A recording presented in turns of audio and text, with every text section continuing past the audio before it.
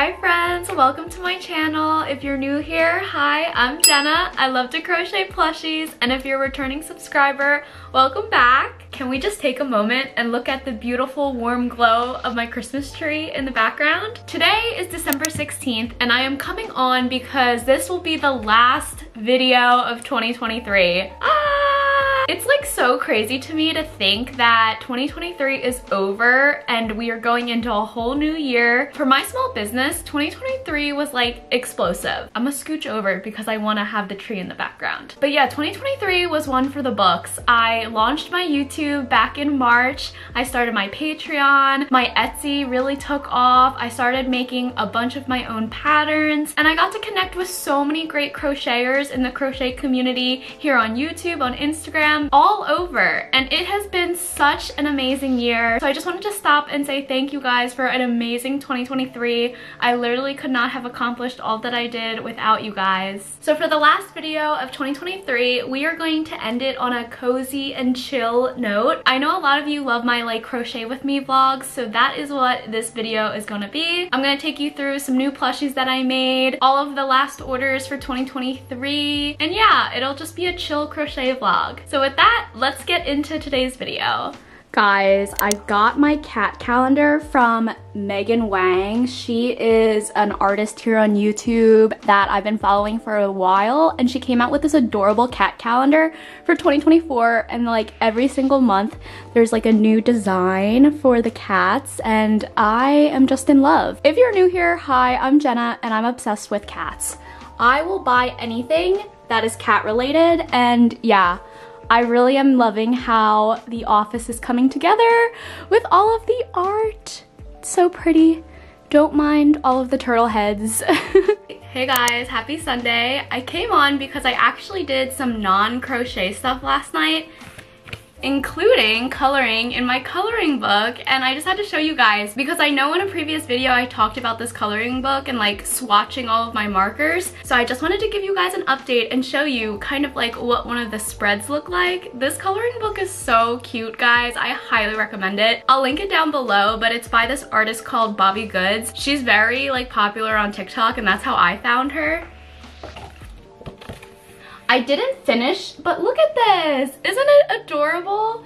Each page has her characters doing something different. So this one is just like a cute little farmer's market and it's just so adorable. It literally brought me so much happiness doing this coloring. Very, very relaxing. And it was nice to take a break from like crochet. And like, look, this is another spread. It's like her characters at the library. And it's just, it's so fun. So highly recommend this coloring book. Just wanted to show you guys look at this little professional setup I got. I will link the light box from Amazon down below. It honestly does the job. Cause like if I bring my camera in, well, I guess we'd have to turn it like this. Like look, that's pretty professional, right? Shay is like, what is going on? But yeah, super cute, taking some product photos for a very exciting thing that I can't tell you guys about yet, but let this be a little sneak peek. Oh my gosh, Shay, baby, get out of there. There's also a hole at the top so you can get like aerial shots, which is super cool. Really recommend this light box if anyone needs to take really professional product pictures. Hello friends, I came on because I wanted to show you I made a bee for somebody and they had very specific design requests. Here is a picture of my typical jumbo bee. So my customer wanted two stripes instead of three and she wanted it to look more round. I guess she didn't like how like cylindrical it looked. So let me show you guys what I came up with. Here she is. Okay, first off, how adorable is this bee's face? Like so adorable. And then look, this is the body. So it definitely is more like round versus cylindrical. And yeah, I'm really happy with how she turned out. I actually do like the two stripes and I kind of do like this body shape as well. So I think I'm gonna be adding a modification onto my existing like jumbo bee pattern. And I will update the listing on Etsy. So if you have previously purchased my bee pattern from me, you can go ahead, go back onto your Etsy profile and re-download it so you'll get the most up-to-date pattern. But yeah, I just had to show you guys. The bee is so cute, hug check. Like look how big it is. Literally, she's huge. Like she's bigger than my literal face. so cute. So I put her up on my shelf and she is gonna be packed up and shipped out to her forever home. This brings up a good point. Mr. Mallard here, he is still available for adoption. Editing Genna put on the screen whether or not he is still available, but someone please adopt him. Hey friends, what's up? Happy Thursday. It's Friday Junior. And you know that one saying where it's like everything happens in threes? Well, this week in my shop, everything has been happening in twos. I wanna show you all of the fun plushies I've made for people. Yes, I went ahead and opened up my shop for orders, even though it is literally December 7th. I'm cutting it very close to the USPS cutoff date for Christmas, which is December 16th. But I just got done that big turtle order and I don't know, I feel kind of bored. Like call me crazy, but I feel like I am a little bored now that I got done that huge order. So I opened my shop back up. So let me show you what I've been up to. The first pair are these adorable little mallards. Love these little chonky boys. So cute. Mr. Mallard is up there still. He is still up for adoption, by the way. Shameless plug. Next duo are these adorable little chicken nuggets. Then we have our little mushy boys. Then we have these green axolotls super cute. And I thought it was funny that literally the same color got ordered by two different people. Like usually I get different color requests, but no, this time someone wanted two green axolotls, two different people. And then this last one isn't really like a true twin duo, but I will show you guys anyway. Someone ordered a fuzzy regular bee and then a big giant bee. So we could technically call this the last twin duo. Maybe not though, but cute. So yeah, those are all the plushies that I've made so far this week. I am gonna be busy packing up everything. By the time this video comes out though, sadly, I think my shop will be closed. It'll probably be around mid-December when this video comes out, so I'm sorry. But I cannot wait for everything that 2024 has in store for me. I wanna definitely add a bunch of new plushies to my shop. I wanna take custom orders again because I miss making customs. and I have some really, really, really exciting news for you guys. I will be revealing it in a later video because I'm still working out all of the details, but needless to say, a lot of fun things are gonna come in 2024, so definitely stay tuned. If you're not already a subscriber, smash that subscribe button so you can stay in the loop for all of the exciting new videos that are to come. Hey friends, happy Friday. I came on because I just got done designing a new pattern and I had to show you guys. It's a cow! How cute is she? And if you watched my previous vlog, I did make two of these cows previously a few weeks ago for a customer and people loved it so much and I freehanded the cows because the customer had like very specific design details that she wanted. So I made the pattern and I saved it and then I posted the cows on Instagram and it seems like a lot of people like the cows. So I decided to write up the pattern and I am going to go ahead and list it. Oh my gosh, Shay. I'm gonna go ahead and list it on my Patreon. It's gonna be one of the free patterns for January. So shout out to all my patrons. You guys will be getting the pattern for this cute cow in January. I love how her belly is like super chubby. like it's so cute and like her little legs and I put the legs and the arms crochet directly in so you don't have to sew them. The only thing you need to sew are the two horns, the ears, and the little nose piece. I don't know. I guess the snout is a better way to say it. Shay, do you mind? Oh my goodness. Baby. Oh, this is a baby. Rare footage of me holding Shay. Baby does not like affection. There you go. But okay, back to Mrs. Cow. Um, I also did the pink and white colors because who doesn't love a strawberry cow? I know strawberry cows are really popular. I'm also going to include a bunch of fun accessories and modifications for this cow. This is just your typical cow with the normal horns, but I'm also gonna write up a modification for the strawberry horns so you can make it a legit strawberry cow. And then also I asked my patrons what kind of accessories they would want her to have. So the top top answer was a flower crown. So I'm gonna be including the pattern on how to make a flower crown for her. And then they also said maybe include a pattern for like a bag. So maybe she'll get a bag. I think making accessories for plushies is super fun. Like, I don't know. I love adding like a bag, a flower crown, even like clothing. It's super, super fun to dress up your plushie. So if you're not a patron and you don't want to join, totally fine. I will also list the count pattern on my Etsy. She's just so cute! I also love her little spots. I was for sure adding spots because I was like, cows gotta have spots. I am slowly packing orders and look at this little packing station I have going on. We got all of the little boxes and I love how the plushies fit so perfectly in these small little boxes. I'll link them down below. I got these boxes from Amazon and totally recommend. They're like the perfect size for my minis. So yeah, slowly getting the orders done. The shelves are clearing out. Still have to pack up a few other plushies up there, but we're getting there. Hey guys, happy Saturday. I came on because last night I made a very like last minute project just for fun. I don't know, I feel like I was a little bored so I wanted to go ahead and recreate the dragon that I recently made. I'll insert a picture here. I made this for one of my patrons, shout out Katie and Monica, and I really wanted to make a big jumbo version of it because I've seen a lot of like the jumbo like Loch Ness monsters slash dragons on my Instagram page recently so I wanted to hop on the bandwagon and do it. So I used Premier Parfait XL yarn in these two colors. I actually had overflow of this green, so that's ultimately why I decided to go with these colors. But after seeing it now, I totally didn't realize that these are like watermelon colors, so maybe I'll add some black seeds onto the dragon to make it like watermelon themed, but she really is cute. So let's do a fun transition. Here we go.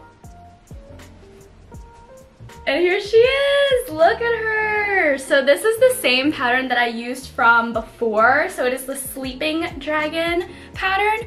And literally look how big she turned out. Like I, I'm obsessed. Like she is so freaking cute. And I always see people like hugging their like Loch Ness Monster slash dragons like this. And it's just so cuddly and so cute. And I put the wings on the right way this time um, the original dragon that I made, I may have put the wings on backwards, but I fixed it for this dragon. And this is what I was telling you guys earlier, like doesn't this look like a watermelon slice? So I feel like I can like add some black seeds to the wings to make it look more watermelony. But yeah, oh my gosh, I love her, guys. It is so cool. Like literally look how big she turned out. I used a nine millimeter hook and yeah, I don't know. I think dragons are my new favorite thing to make.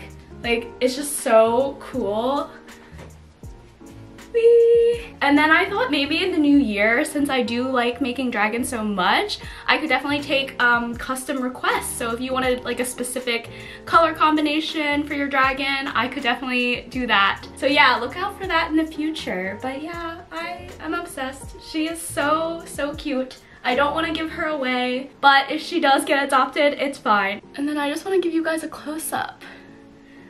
Like, look at that, so beautiful. Also, if you were wondering how many skeins it took, I was honestly surprised. It only took two skeins of the main body color and then one skein of the secondary like spike color.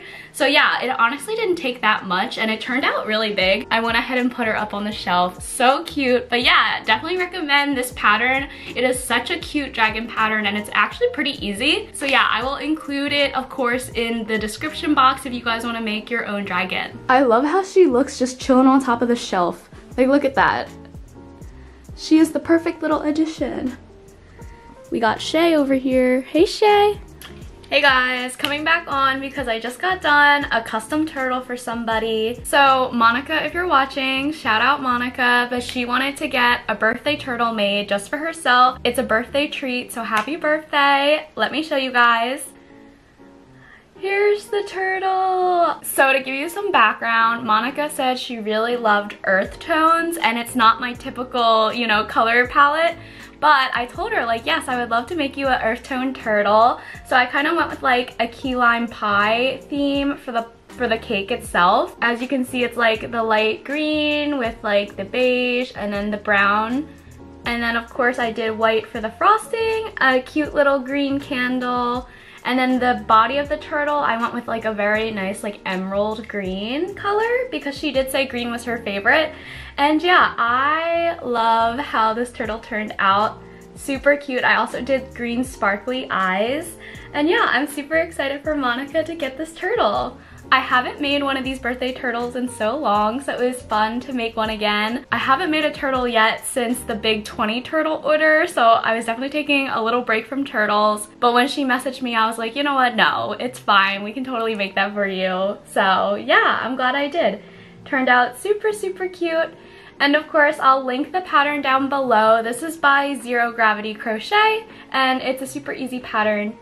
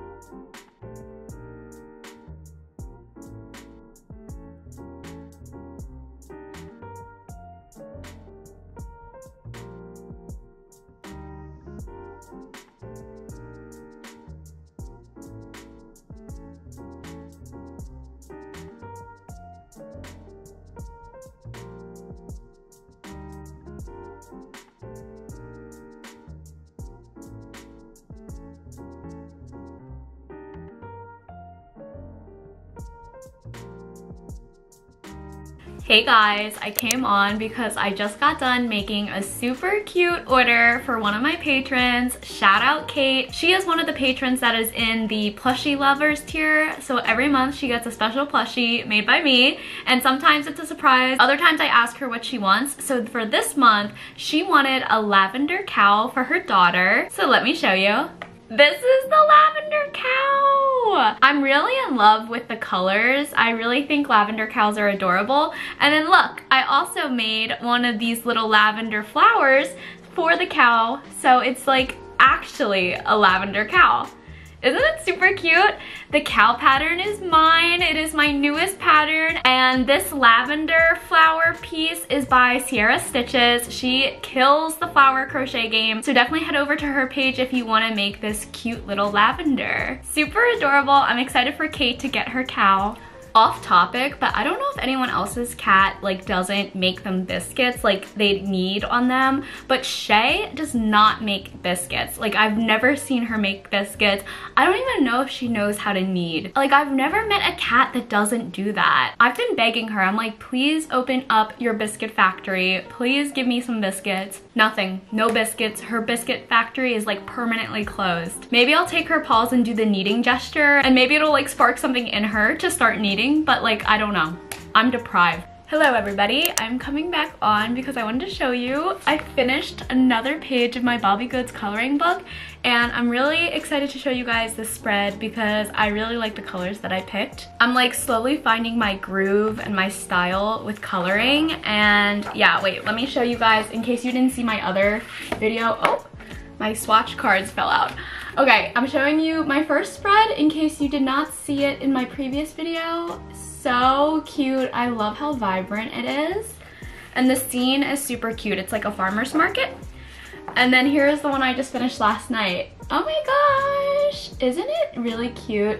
I really love the little dog's like headband. So yeah, that is my progress so far. The next spread is of the library, which I'm super excited because that is a lot of things to color. I feel like coloring is such a relaxing hobby, especially now that I have some more time with crochet, like winding down for the year. I've been doing a lot more coloring and yeah, I love putting on some like Taylor Swift zoning out and just coloring. I also came on because I am in the process of making Yoda. This was a request by one of my patrons in the plushie lover tier, so shout out Katie and Monica. So far, I have Baby Yoda's head done. I'm using Parfait Chunky yarn, of course. I feel like I've only exclusively been using Parfait Chunky yarn for the past like few months now. This is in the color Mint, and I love how pastel this green looks.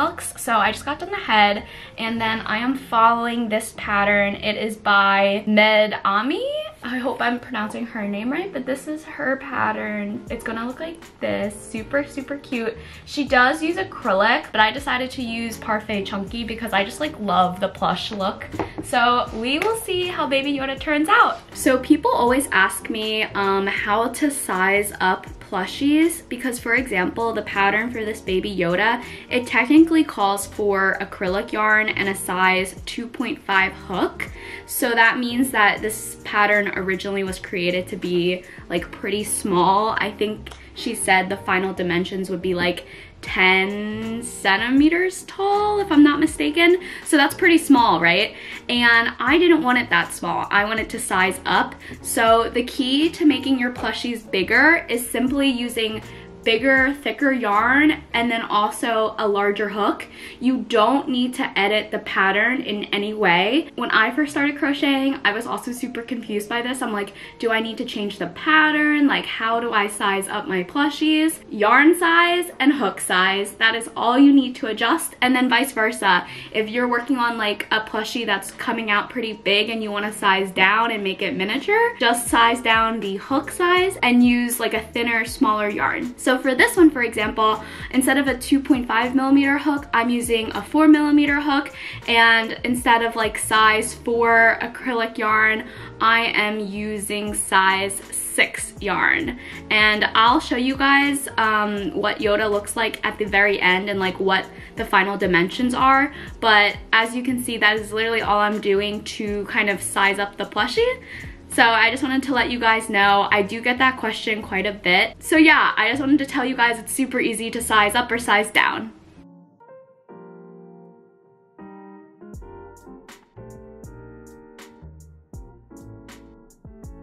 Oh my gosh, guys. So I just got done the body. The head is so big compared to the body. Like, oh my gosh, this is just like really funny. But Hopefully when I add the big ears and like Yoda's little coat, it'll all make sense and look good. Sometimes you just have to trust the process. I've made many plushies where during the process I'm like, this does not look good. But I stuck to the pattern and I held out and waited and most of the time it turns out good. So crossing the fingers. Hey friends, so it is the next day. I'm wearing the same crew neck, don't judge. But I wanted to show you, Baby Yoda is done.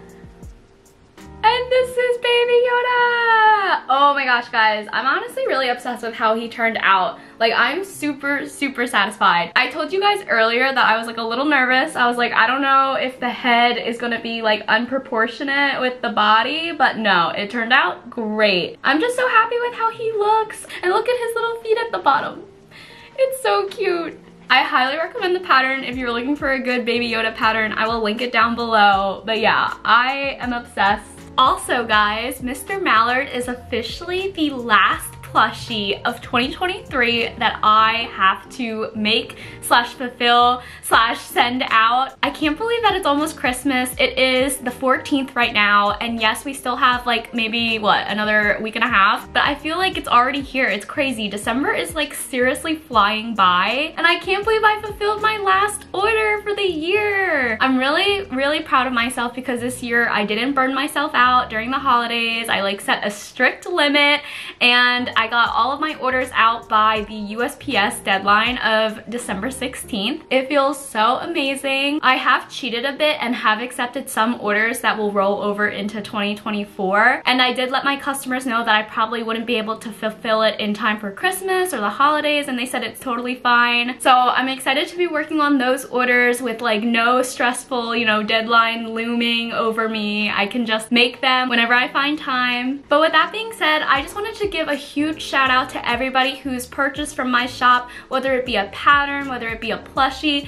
Literally, if you even visited my Etsy shop, watched my YouTube videos, followed me on Instagram, liked one of my posts, literally just interacted with my account in any way, thank you so, so much. 2023 has literally been one of the best years ever and I seriously have all of you guys to thank. From the bottom of my heart, thank you so much. Crochet by Genna would not be what it is without you guys and I really want to just say thank you so, so much. You guys are the best.